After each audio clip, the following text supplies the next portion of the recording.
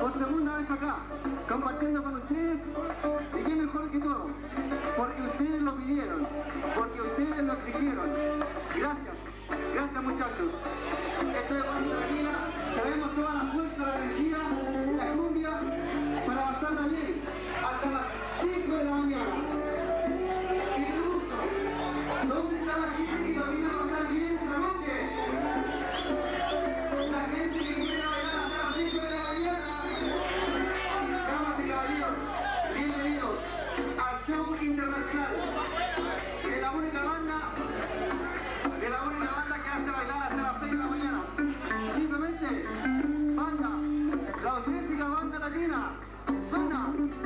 44 años.